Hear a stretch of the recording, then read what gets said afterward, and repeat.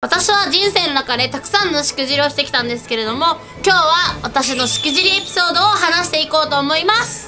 ポストさんの子供です。ポストの子供。まあ親に預けてですねここ預けてホスト遊びがすごい激しかったんですよこの子。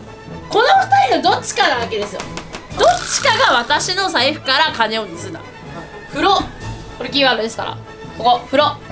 風呂まで子供が生まれます。また？はいのとんかつはいどうも細くるい葵です。今日は私のしくじりエピソードを話していこうと思います。私は人生の中でたくさんのしくじりをしてきたんですけれどもその中でも居候についてしくじったエピソードを話していきたいと思います。居候といっても私が居候するわけではなくて歌舞伎町にいるですね子猫ちゃんを私が持って帰ってきてしまうというゴミ収集車というあだ名が付けられているということでゴミ収集した子猫ちゃんたちを紹介していきたいと思います。今回の方は全部で仮名でお知らせでいくのでねよろしくお願いします。はいということでまず1人目はですねさつきちゃん。この子、えーまず21歳ぐらいでした。出会いは道端ですね。酔いつぶれたところを私が介抱しました。そうするとその子はですね今日はホテルに泊まると。いつも満喫とかホテル泊まってるって言ってたんでまあちょっとホテル代とかね満喫代もったいないじゃんと言って私の家にあげたんですよ家に。で家にあげたところですねめちゃめちゃ住み着かれました。そしてこの子ですねさつきちゃん。ホスト遊びがすごくひどかったんです。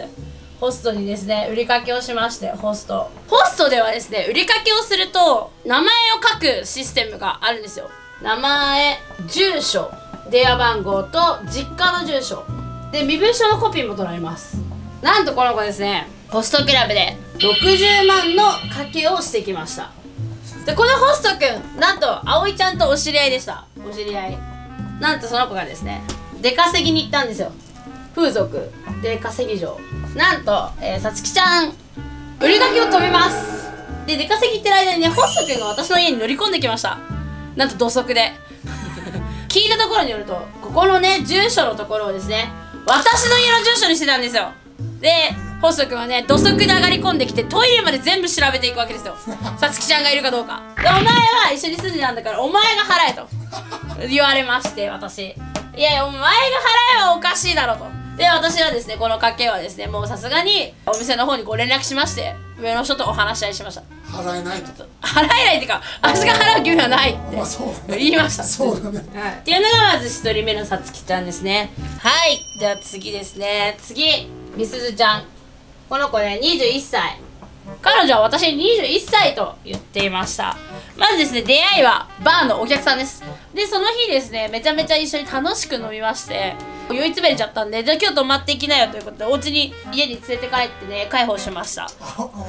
そうです。で仲良くなってでみすずちゃん聞いたところですねやっぱね出稼ぎ場だったんですよ。家は言えなかったですね。出稼ぎ場で家なんかこう。じゃあ別に荷物とか置いてていいし好きなだけいなよと私言いました。すぐ言うんですはい。しかもね仲良くなってお客さんとしてめちゃめちゃ通ってくれたんですよ。はで最初ね、まあ、20万すごい飲み代をね使って払ってくれてました。いバーで10万20万ってやつすごい高いですよ。でですね出会ってからですね2ヶ月後私なんとバースデー6月生まれなのでバースデーがあったんですよ。そしたらその月に70万くらい使ってくれました。葵のバースデー付きの？そうです。私めちゃめちゃ嬉しかったんですね。めちゃめちゃ初バースデーだったのかな70万くらい使ってくれて全部売りかけにされました。これ。全部？はい。これ売りかけです全部でも私は一緒に住んでるしでなおかつこの20万も10万も払ってもらったことあったしこの子ねめちゃめちゃ細いんですよ。細くて可愛い。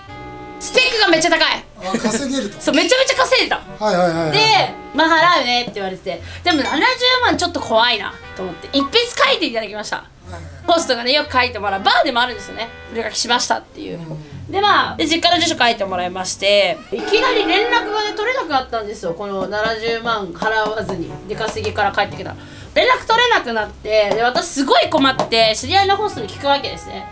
ホスト A ホスト B でここがよく飲んでたメンツで。このホストの A はなんとみすずちゃんにですね売りかけを20万と割れました。ホスト B 君この子ですね。私とも仲良かったんですけどなんとこの子のですねホストの寮にみすずちゃんかくまわれてました。私この2人に相談したわけですね。相談したのにもかかわらずこのホスト B かくまわれてました。へええこの時はまだそのかくまわれてることを知らなかったんでずっと連絡取れないなと思っていてこの時にやっぱ実家の住所をね書いてもらってたんで私実家に突撃しました。なんとそこにはおじいちゃんおばあちゃんが住んでらっしゃってまあちょっと説明するわけですよ。こうこうこういった事情で一緒に住んでたんですけどで一緒にそのバーに来てもらってこれぐらいのねお金のね飲食をしていただきました。1ヶ月でと。おばあちゃんが泣く泣く。うちのみすずが申し訳ございません。あの子実はまだ18歳でと。皆さん覚えてますかこれ？彼女21歳。え待って身分証のコピーも取ったんでしょ？身分証偽造だったの。ええ30万で作れるんだって。偽造免許証？そう。ええ本当は18歳です。未成年だ。酒も飲めねえじゃん18歳にはね取り立てできないっていう法律があるんですよ。てかまず売りかけをさせてはいけない。お酒も飲ましちゃいけないし。でなおかつなんとこのみすずちゃんおばあちゃん泣かせなんですよ本当に。毎月毎月ホストクラブから電話がかかってくると。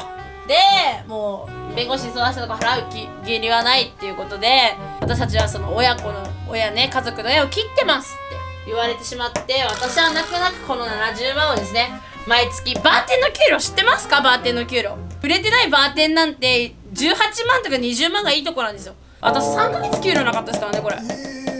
えなんかさ身分証を偽造できるこの世界もやばいけどさもうほんと私騙されちゃったんだなって。え騙されやすいんだろ本当に。で次ね。レイカちゃん。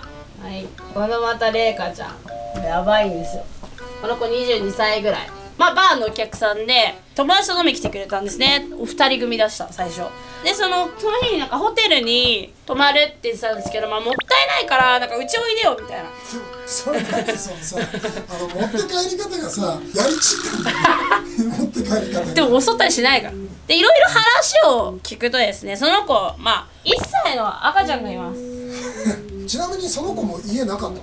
家なかったですね。子供いながらはい。ええ。で1歳の子供これはですね実の母親がね育ててるということで。あ実家に預けて実家ですね。でこれやるとですねホストさんの子供です。ホストの子供。まあ親に預けてですねここ預けてあホスト遊びがすごい激しかったんですよこの子。仕事は私にはキャバクラとキャバクラしてるって言っててこの1歳の子供のところに仕送りしてるって言ってましたこの子すっごい問題児で。この子を家に入れた時から金品がなくなるんですよ。だんだん。だんだんなくなるの。でなんか葵ちゃんある時7万ぐらい財布に入ってたんですね。7万円とあと家賃払うのに10万円の束入ってた合わせて17万円入ってました。でこの10万円ってやっぱ分かると思うんですけど10の束でこうやって折り込むんですよ。はいはい。そしたらなんとですね起きてお財布の中を見たらここの10万円が足らないわけですよ。7万しかないんだ。いや10万円はあったんだけどこっから4万ぐらい抜かれてたの。なんか薄いなこのなんか閉じてる10万円みたいな。ああそういうこと？10万の束からそう4万。4万抜い抜かれてそう6万円しか入ってないで私この時もう一人家にいたんですよ女の子がそれは後々話すんですけど、まあ、その子がまあマリちゃんにしましょうか。この二人のどっちかなわけですよ。どっちかが私の財布から金を盗んだ。はい。でまあどっちでも聞くじゃないですか。ちょっとさなんか足んないんだけどみたいな。知ってる？みたいな。はい。聞きました。でこっちを知りません。言ってて。で私この子2年ぐらいの付き合いだったんですよ。で今まで金品は取られたことないんですねこの子に。おおじゃあ何葵の中では結構もう革新的だったんだいやもう確信でしょこれ。でデイカちゃんってもともとバーのお客さんだったんですけどもう一人友達がいてその子が、まあ、ナナちゃんにしましょうか。ナナちゃん。この子にちょっと相談したんですよ。実は今一緒に住んでるじゃんみたいな。お金ないくなったんだよこの前って。はい。そしたらなんとナナちゃんこの子から取られまくり一緒に買い物に行きます。うん。このカバン持ってて試着してくるからって言って。うん。なんと金が数万ずつ抜かれてると財布から。でホスト遊びがすごい激しくて電話した時もホストにいたんですよ彼女。お金がないはずなのに。だって私の家に仕事行ってなかったからお金ないですからね。ホスト行ってるなんておかしいなと思いつつもう革新的だった事件がありました。何？まあマリちゃんですね。この子がですねまあ仕事行ってるっていうことにして今日帰ってくださいよって言ってきました。でもこの子は本当は今日帰ってこない予定だと。で分かりやすく私お財布を枕の下に入れて寝たんですよ。しかもなんと3万円だけ入れてすると起きたらなんと財布の中身が2万円になってました。3万円ってさなんかさ覚えてるもんじゃん。でなんか今日はほらまりちゃん帰ってこないんだから本当は。でれいかちゃんに聞いたら「いやまりちゃんじゃない?」みたいな「あの子だってごそごそ帰ってきて家帰ってきたよ」みたいな。でもこの子は県外にいるからそんなことは絶対ないの。だからお前だろみたいな。言ったわけですよ私はお前だろと。詰めためっちゃ詰めた。うん。そしたら？強く注意したらいなくなっちゃったマジでゴミ収集車なの？本当だよね。もうこれでもね最後に組んだ史上最大のゴミよしかもこの子何がやばいってこの子次の子ですね。マリちゃん。出会いはバーで出会いました。でこの子一番長いんですよ。本当に付き合いが。私のホスト人生始めた子だからね。あ何？マリちゃんきっかけでホストそう。たへえ。7年の付き合い。今おそらく30歳。で今満喫暮らししてると思います。マジ？はい。私これ後から知ったんですけど実家に子供が一人この子バーで出会って仲良くなりました。お互いバーに通ってたんですそのバーに、うん。でまあ家がないことを知り止めました。そしてまずですね2年後ですね。マリちゃんのお腹がですね急激に大きくなります。あ妊娠検査薬するじゃないですかお腹大きいから。たらなんと。妊娠発覚。発覚。病院に行きました。したらなんとですね生まれる1ヶ月前。ええそれまで何？気づかないっていうか。マジで？やばいよねお腹が大きくて1ヶ月後ってもう下ろせないし選択肢は産むしかないんだけれども育てるのか育てないのかっていうところに行くわけですよまず。で誰の子なの？それも分かってないそう。まりちゃんは、えっと、ホストの子って言ってたけども風俗もやってたからお客さんの子なのかもしれないなみたいな。だからどっちの子なのかはもう分かんなかったけれども、まあ、生まれちゃったんです1ヶ月後。ここでですね無事出産した時にですね親に電話するわけですよままず。入院する時とかのために親族じゃないとダメって言われたから。そしたらなんとここの実家にお電話するとですね。なんとまりちゃん実家から感動されています。おう。マリちゃんのお宅ですかって聞いたらお母さんが出てきてね。うちにそんな子はもういなくなりました。あれは最低な母親です。子供を捨てていきましたと。で子供いるんですかって。そっから。子供いるんですか？って。で今回ね女の子も産みました。この子はね福祉事務所に行きました。預けられたってこはいこっからまたですね舞ちゃんは風俗を始めながらホスト遊びをすると。